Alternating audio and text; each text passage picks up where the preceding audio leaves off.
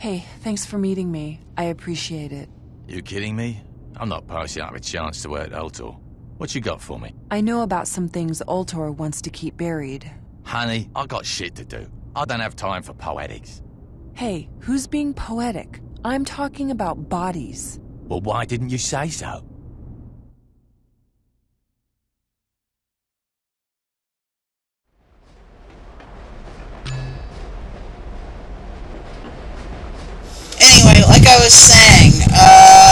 Weird.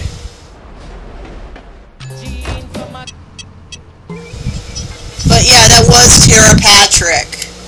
That's who the Dr. Patrick of the title is referring to. She's supposed to be an Ultor scientist. Here. Did you find the first body yet? Well, I'd like you to find the damn thing before Misako back. How do you know about these bodies? Seeing as I'm about to get...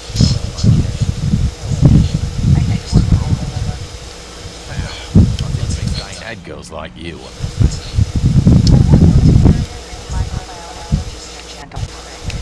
A what? Read a book.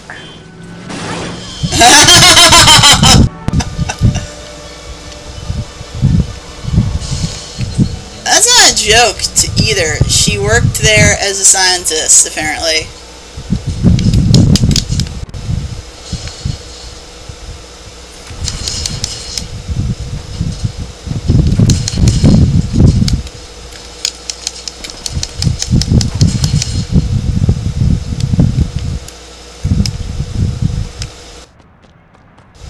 Okay.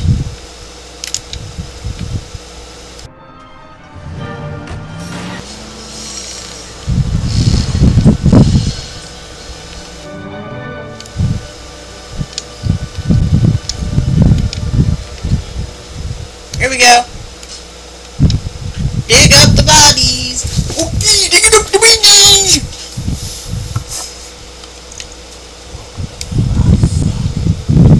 Seriously. What you do to these people? I think it's from the first one, huh? Always experimenting with nanites. They're hoping to find a way to increase a miner's lung capacity.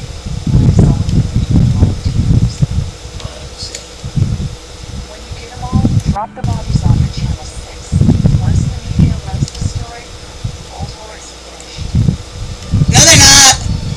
Because she's gonna look like a crazy person, to be fair. I forgot. Uh.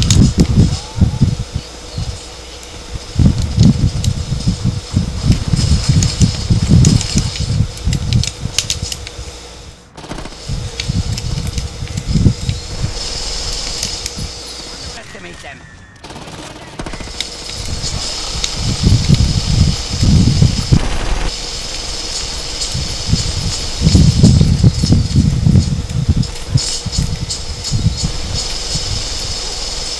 Got him! That was easy. oh, okay, not really, but uh, could have been.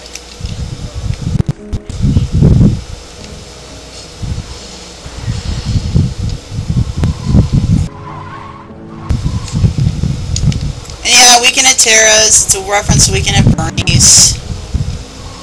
It, it, it's a reference that kind of makes sense considering uh, the dead all the dead bodies involved and all.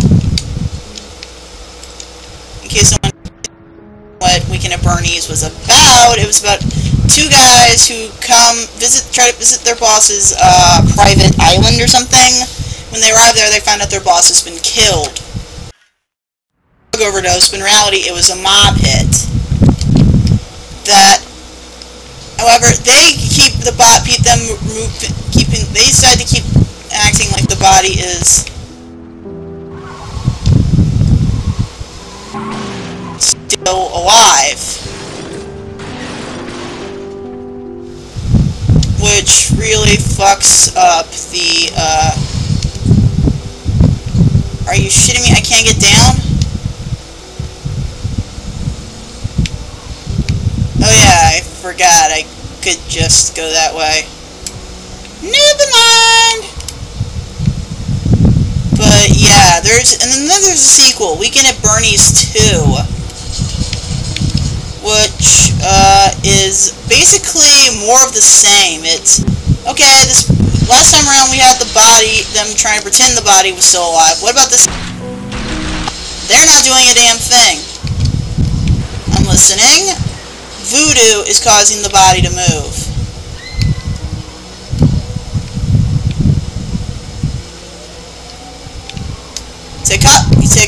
Kotcheff heard that and he decided to uh, not return as director. Thank you, the Ultor for screwing up my.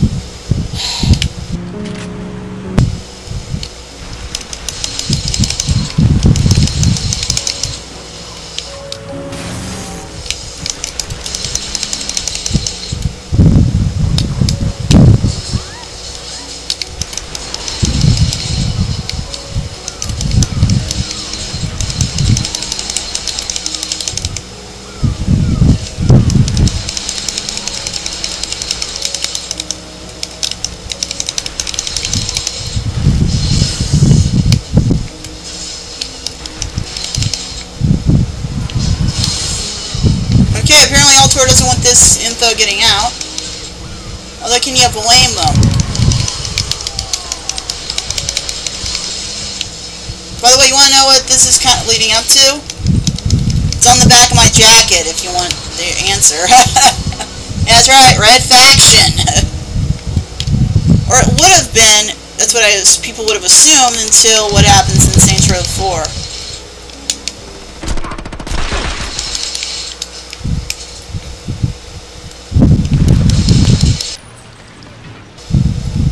Okay, the truck was already kind of near the ATPC.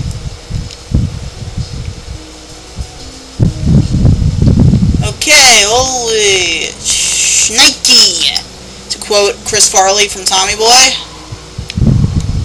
I'm just gonna put it on pause for a second here.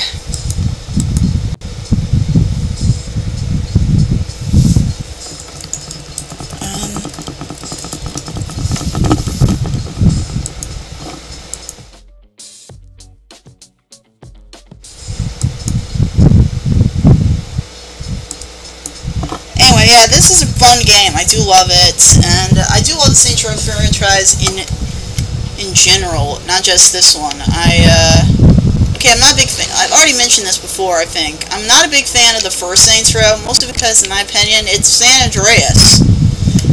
It's all. It's Grand Theft Auto San Andreas light. It's got the some, uh, and I say light because the first game tried to take itself too seriously, like it was a serious crime, ga- gang crime drama or something. Despite some jokes thrown in, try to keep tensions down. So yeah, I don't even I don't get the uh, idea there. Why do you need to keep tensions down?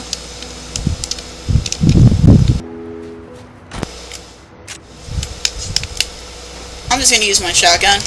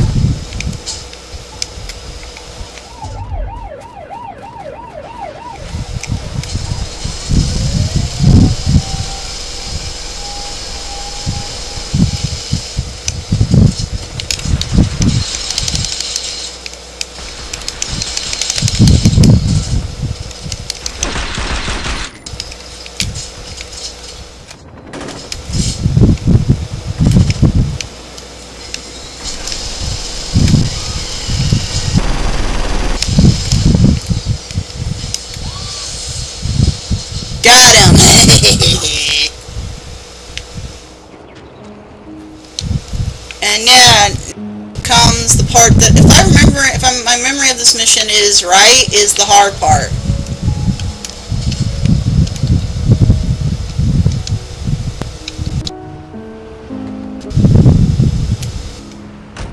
Like I said, my memory might be a little cheesed.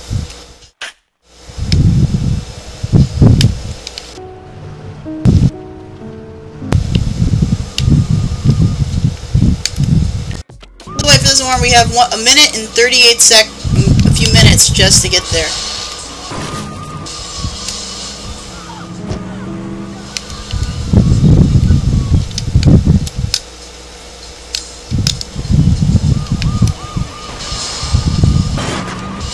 Because, believe it or not, yes, Ultor does not want these bodies in the up on the air. But guess what? Fuck what Ultor wants. We're the Saints. We do what we want. We're the Third Street Saints. We do whatever the fuck we want. Sorry. They made that easy. I think they make that a little too easy. But isn't that bizarre? Flex is a lonely chap. Can you stop crashing into me? Jesus. Okay, we still we only have a few minutes to get across the uh, bridge, guys.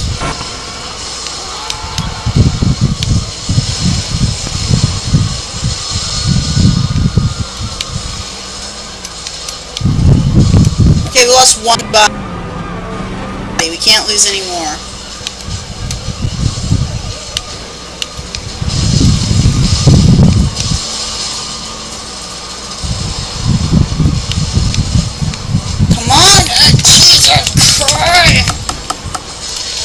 We're about to screw up anyways. What's the point?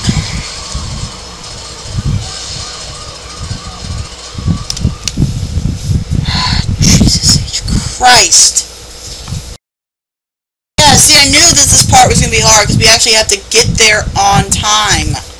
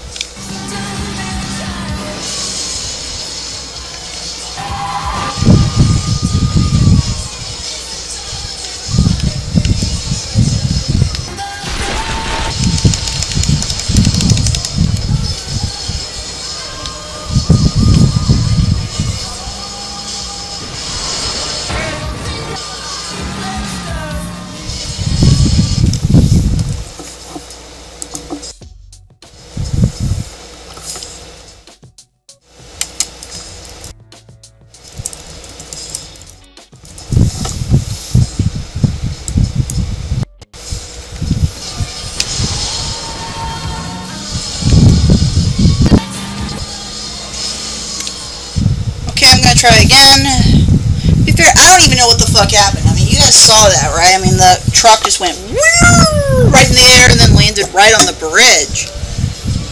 Be fair, I don't even think that should be possible.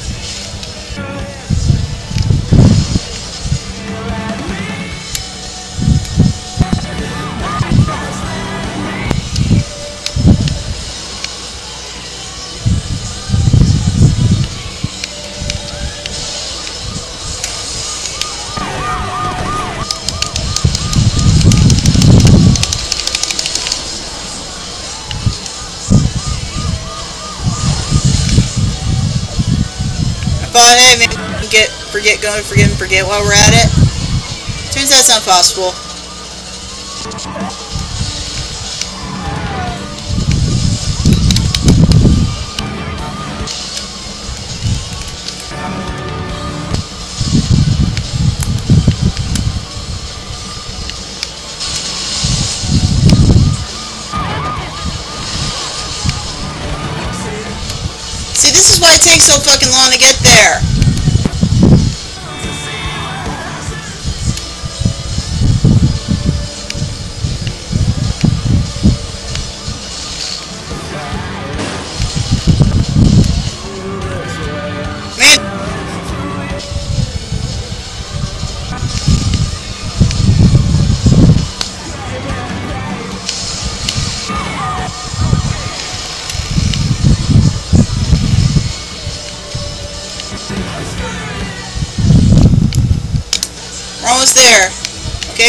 There.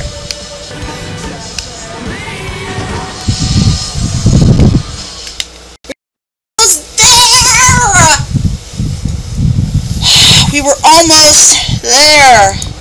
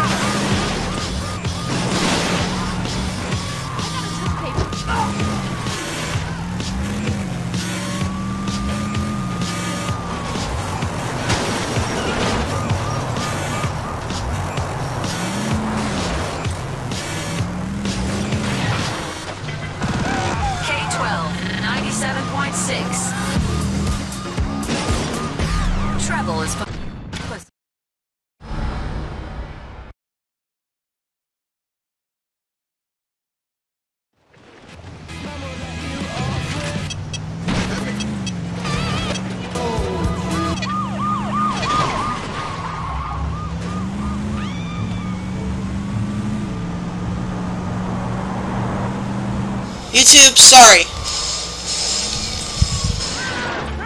You know what? I have an idea.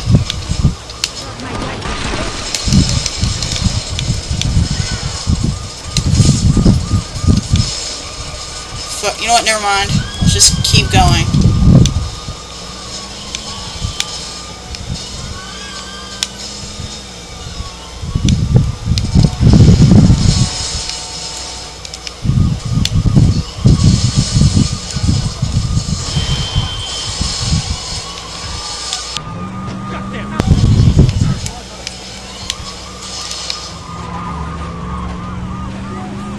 Shouldn't take that much longer, us that much longer to get.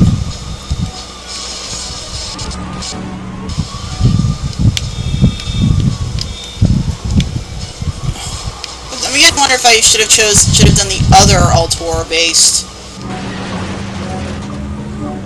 One body, that's it, one. We can't lose any more, guys.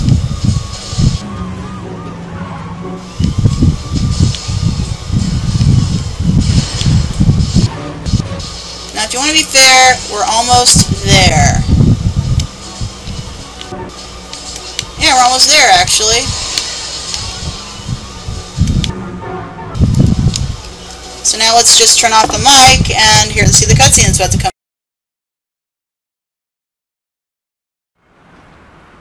Did you have any problems? Nothing I couldn't handle. Good. So now what?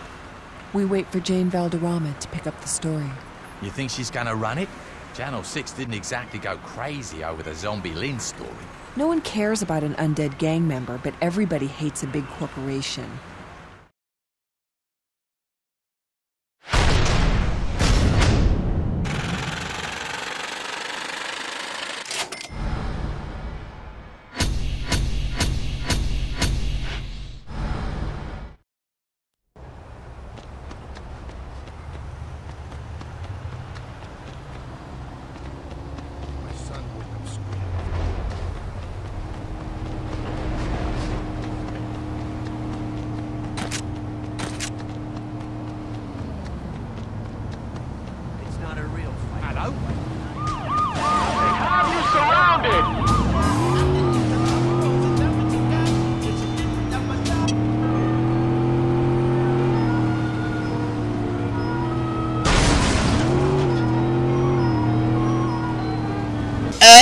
Uh, I'm back. Uh, yeah, reason I'm back, I'm in the car now, is because I am very well aware of the fact that...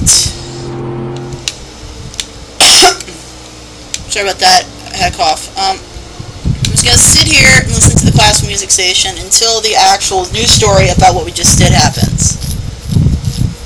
Actually, I'm gonna turn off the mic and the capture device because I want to hear listening to it myself, yourselves. But anyway, see you guys next time for episode